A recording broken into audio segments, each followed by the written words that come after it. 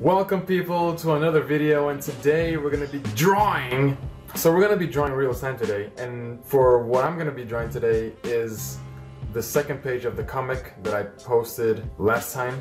We're gonna be doing this real time and you're gonna go through my pro I'm gonna go through my process with you guys and I don't promise that the video is gonna be very dynamic but at least you're gonna understand a little bit more how I draw and since it's gonna be slow, you guys are gonna see all the mistakes and everything. I think that's gonna be very interesting for you to learn and as well as to just see how I do it.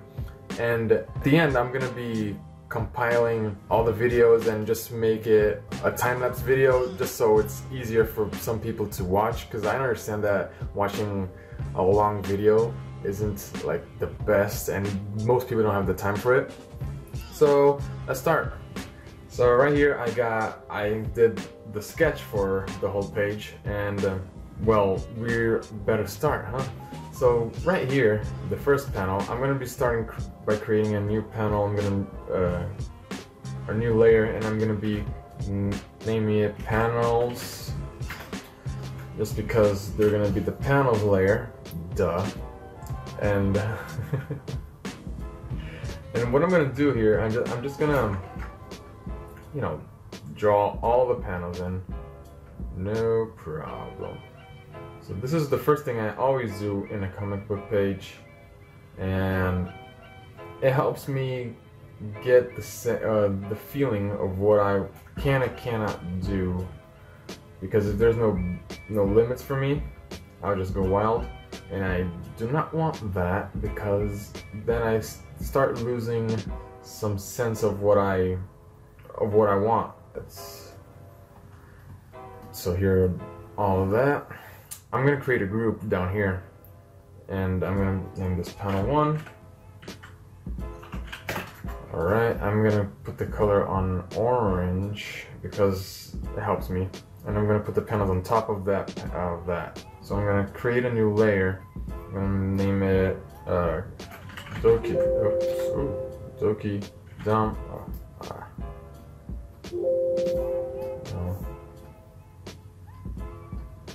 what happened? Oh no.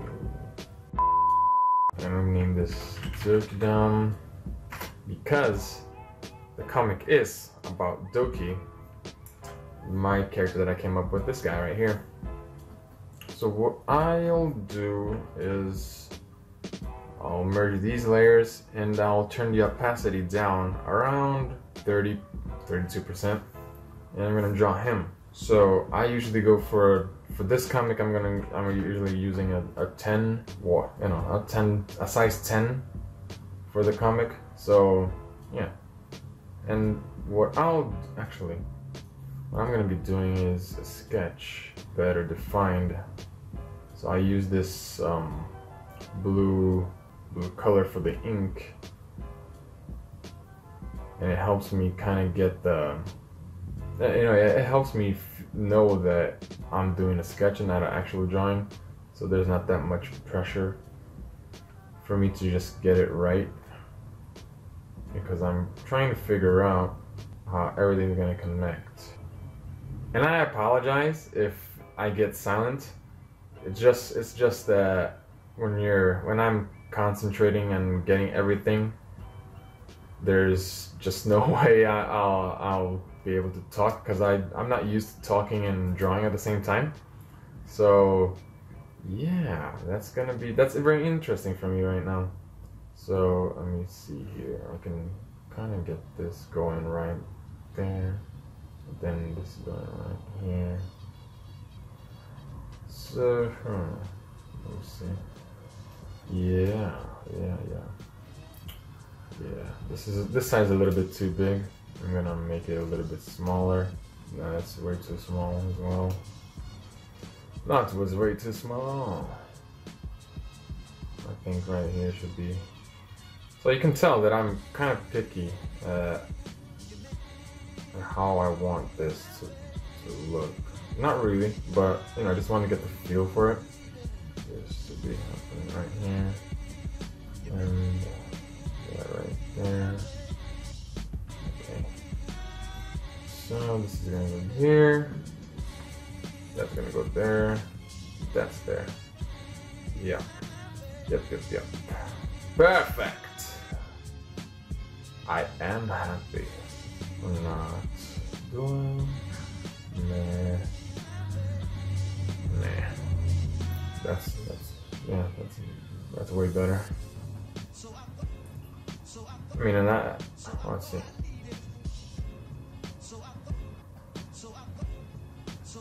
Yeah, turned out pretty good. Alright. Something like that. Then, right here, he's gonna be putting the backpack down. I think there was a pocket right here. I don't remember. I just drew it. And, he, and he's got these kind of, I don't know what you call it, like these straps going around.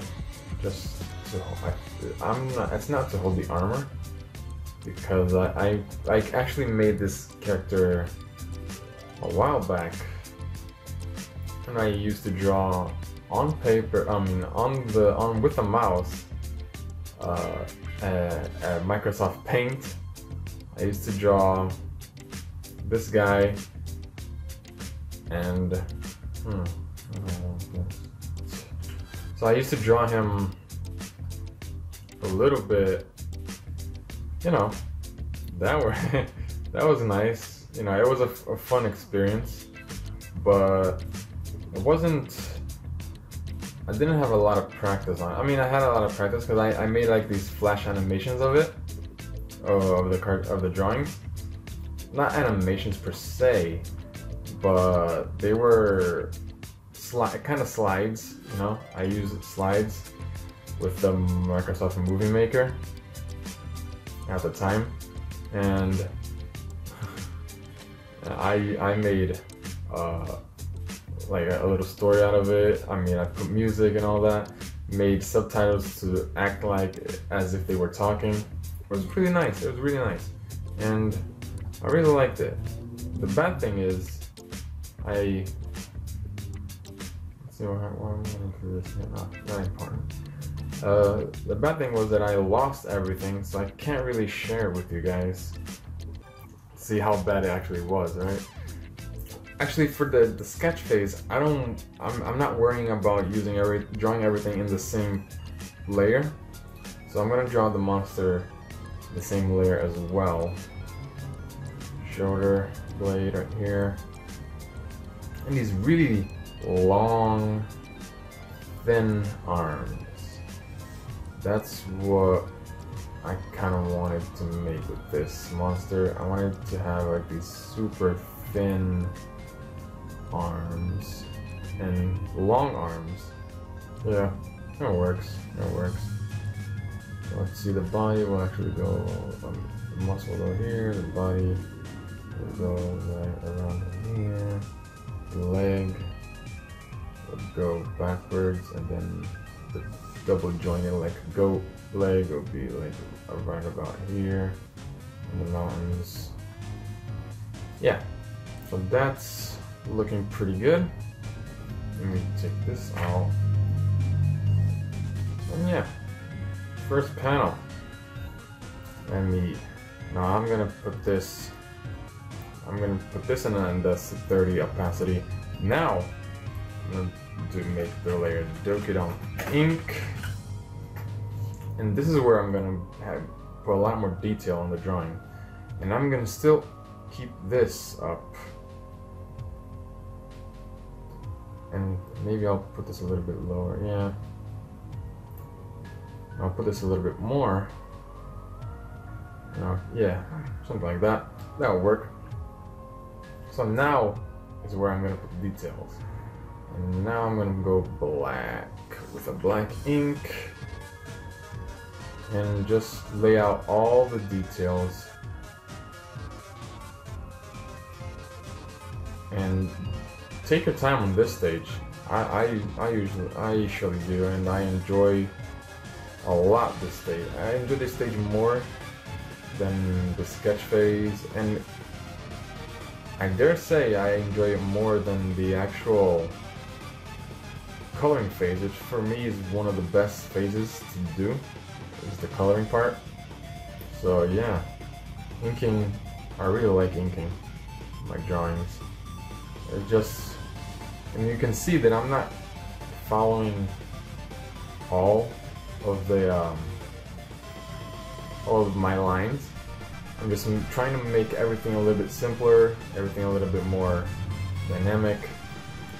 here, here I might do something. This is gonna be a little bit of trial and error. There we go. You don't have to be straight with this part because I want it to look like it's old. So the more it's you know bent and not straight, the better in this case. Yep, like that. Then you can do something like this. I like to do it like that. That.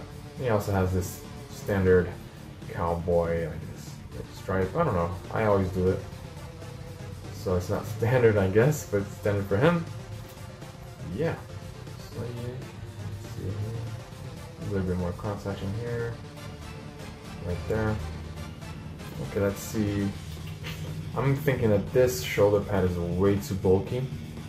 So what I'm gonna do is I'm gonna kind of thin this out a little bit. And I'm gonna continue it to, to the second shoulder pad that's underneath it. And I'm gonna, so one thing that I am doing here is that I'm working at a line thickness that I normally wouldn't. It's a little bit too thick. Here's there we go. It's a little bit too thick and I'm not sure that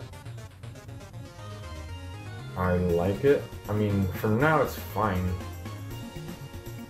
I guess, but I like how it looks, especially far away. So what I like to do here to convey like like a shape here, especially with cloth, cloth, cloth, is just to make the instead of doing like a straight line like this, I'll do something like this, right? So even though it's not a straight line, it's just you know a lot of lines together, close to each other, it makes, it gives the feel of a straight line. And that's, it gives the illusion. That's alright. Right there. It's kind of unusual, it's kind of weird, but it works. And if it works, we roll with it. And this, we're gonna have a little bit of scratches out here and there. Yeah, like that. Yeah. We're gonna make this part though a little bit better than it was. And by that, I'm gonna do this, and I'm gonna shrink a little bit of that part. So it's, I, I mean, I add a, like what, like a millimeter more, but, you know, that, that adds a lot later. So, yeah, do that, try that. And we're gonna make these lines right here because we want we want to make it look like they're pushing the, the cloth is being pushed you know tugged on that's what we all want in the end to make it look like it's actual clothing and not you know something that you just put there just to pretend it's clothing which I've seen people do, and uh, it's not really nice. So I would definitely recommend doing at least pretend uh, making the illusion it looks like a cloth, just like that. I'm gonna put some rivets, rivets, mm, rivets. uh, yeah, let's, put it, let's make it go a little bit over here. So one of the one thing you can do is to make it look like it's you know it's actually there, do that. You know it helps. And if you do something like this, then you'll get the, uh, the illusion right there. Because it's it's supposed to be a glove, this right here, and this is metal, and then a glove, and then a metal right there. That's that's one way of conveying the shape that you want or the material that you want. give it lines to make it look like it's uh let's see something around here and you can see that it's still going in the same direction and that is what we want that is what we want Alright, like that. Something like that. Hmm. Interesting design that came up there. Let's see here. So it kind of goes like this, and this seems to be going upwards. And they did have a bunch of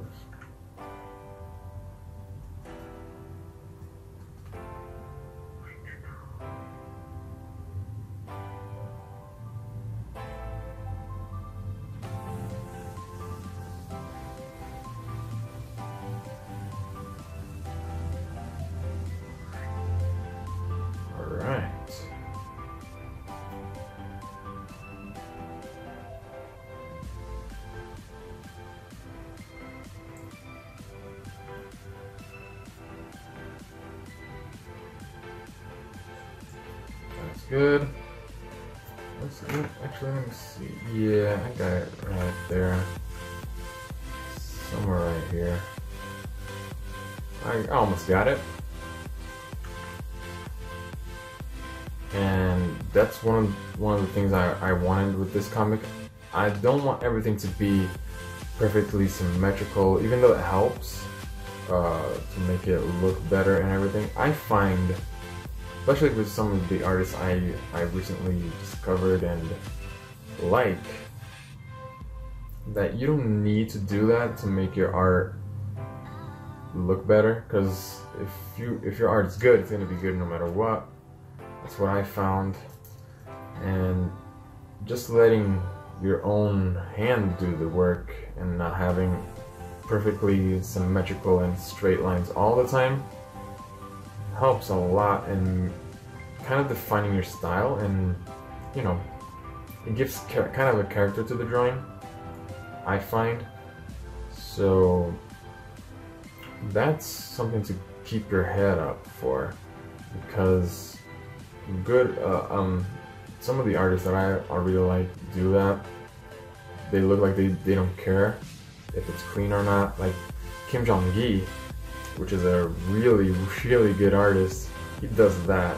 He doesn't really, he doesn't use rulers, he just goes with the flow. And his drawings are amazing. Anyone who knows his, him, his drawings, anyone who knows his art, knows that the guy is a monster when it comes to art. He's one of the best, if not the best. In my opinion, he absolutely is. And you know, everyone is just doing what they can, right? No one can be like him, so you have to do what we got with what we got. For me, I don't want this the this comic in particular to have a lot of cross hatching, but I just can't help it, right?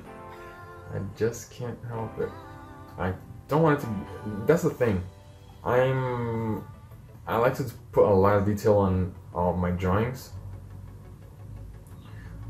but with this comic, since I wanted, like, if I if I continue to do it, I wanted I want to like have it done fast. So I want to do it fast, but I don't. So that's one of the things why I, I can't have a lot of details in every panel, and that was one of the reasons why I kind of stopped doing another comic that I was doing because I, I accidentally put a lot of detail.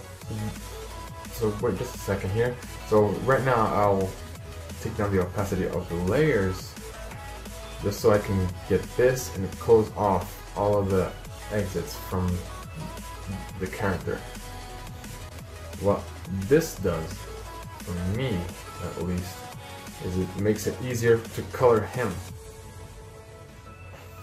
So yeah, so we're done with the character. Let me take off this and this and this so you can see that the line's done and it's, you know, it's pretty okay. It's alright. Isn't the backpack a little small? Maybe. Oh, yeah it is. Of course it is. So, and here's an, another thing that's awesome with digital art. You can do this, which you're doing traditional, you really can't do it. So, look at this, look at this. It doesn't have to be perfect, thank you. Okay, yeah, it doesn't have to be perfect. See, let me just... Yeah, because it's a travel bag. I figure if it's a little bit bigger, it's you know, get enough like that. So let me see if I can do this this beast. Yeah, I I sorry again if I'm way too quiet on these videos. I just I'm I just concentrate too much I guess. Uh if I do more of these, I'll I'll have to get better if I do more of these. I'm not really sure. Like I said, I'm still kind of figuring stuff out for this channel yet. I don't know what I want to do.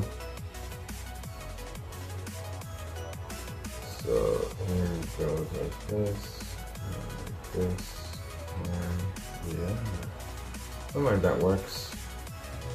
Yeah let's get this. Let's get this bad boy here.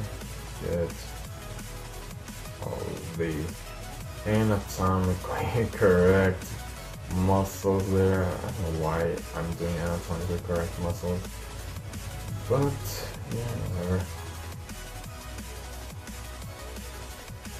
Alright, we got that. We got that. We got that. Oh yeah. Yeah. Now we're getting somewhere. So right here, what I'll do is just draw over because after when we start coloring it, it's not going to show anyway, so it doesn't really matter. So what I use this for is just to get the the lines closed because like I said, it's kind of important to get your lines closed for this part um, because when you color, it's going to be way easier if you just have everything done the way it's supposed to.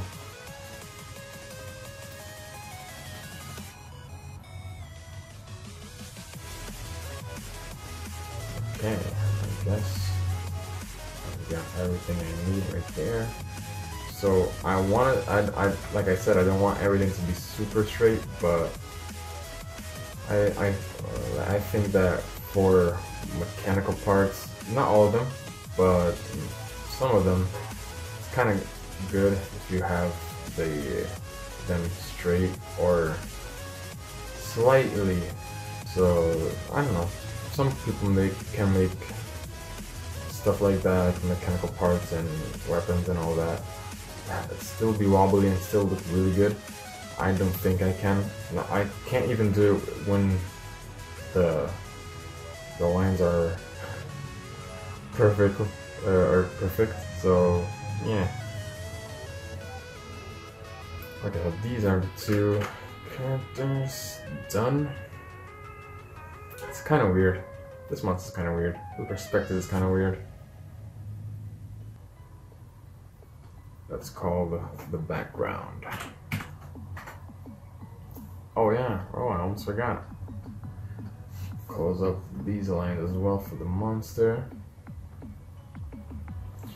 Now I'm gonna go to the background BG, which would be, this way is kind of faster to do it. Just get your selection tool Mm, let's see, where is the, the stroke? Well, like I'll put just to save me. I'll put like what five pixels. Yeah, that's good. Uh, the monster, yeah, the monster's kind of a curve. Yep. So it will be like that.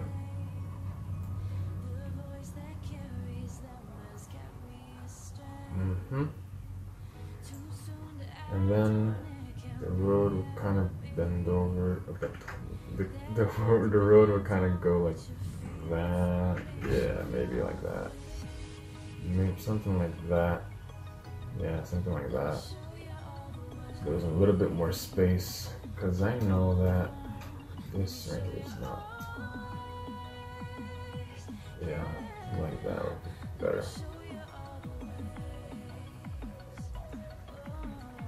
Remember, this this layer is gonna be in the bottom of everything, so there's you shouldn't worry too much that you know you're drawing inside the lines of the characters because it doesn't really matter right now. And here we're gonna you know just put some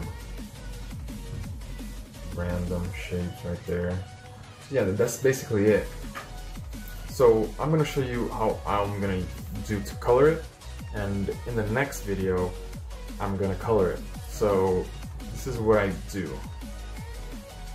So I'm gonna create inside this folder another folder.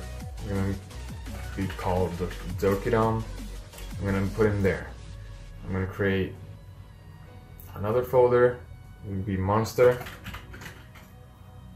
He's gonna be inside that folder everything I do is going to be inside this folder and it's, it's you know keep yourself organized or otherwise everything's going to go wrong pretty quickly. So well let's see. Yeah I'll take off the rest and I'm just going to focus on him. I'll, go, I'll get him.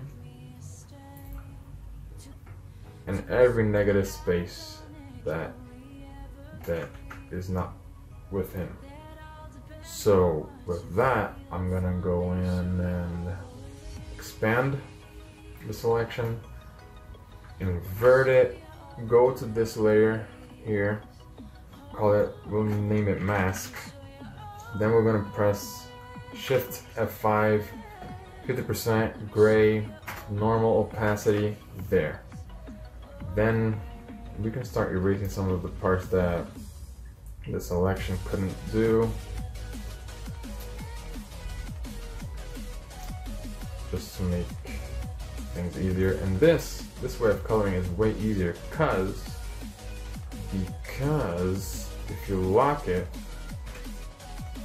if you want to draw, see, it only goes inside. And so you can create layers on top of layers. And that is how everything is going to be made. And for the background, it's gonna be the easiest one because we're just gonna need to get this, call it mat, oh, call it mask. And we're just gonna get the selection, the everything outside. We're gonna select everything outside, invert the selection. Actually, we're gonna go everything outside. You know, select, modify, expand, then invert, and then you do this and there you go. You got everything selected for the mask for the mask for the background. I usually like to go with a lighter color or darker color because it just helps to kind of separate the background from the foreground. And that right there is what done. And this is gonna set up for our next video which is gonna be how I color everything. So I hope you enjoyed it and see ya to the next one.